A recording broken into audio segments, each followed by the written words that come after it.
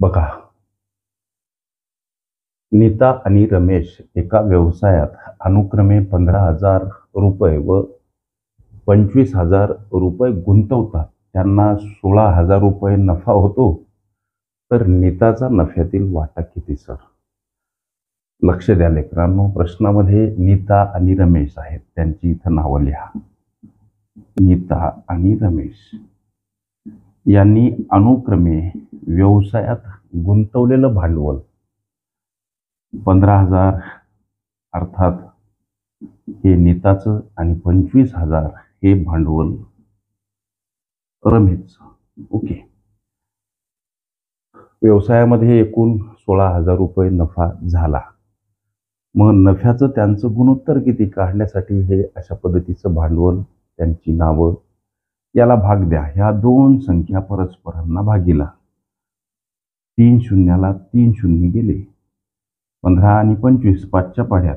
पाच त्री पंधरा पाचा पाचा पंचवीस.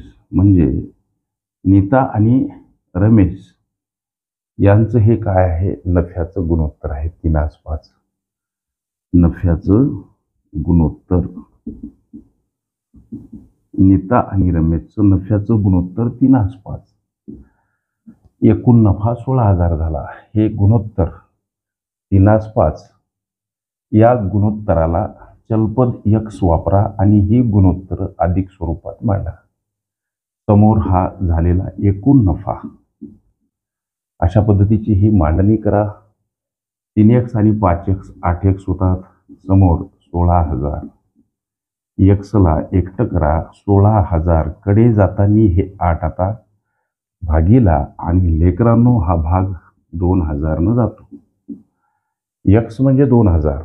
ओके ही नीता. आणि हा रमेश. नफ्यांचं गुणोत्तर अर्थात तीन एक्स पाच एक्स अशा पद्धतीची मांडणी. यक्सची किंमत दोन हजार. आल्या एक्सची किंमत या गुणोत्तरात टाका. हा गुणाकार सहा हजार रुपये.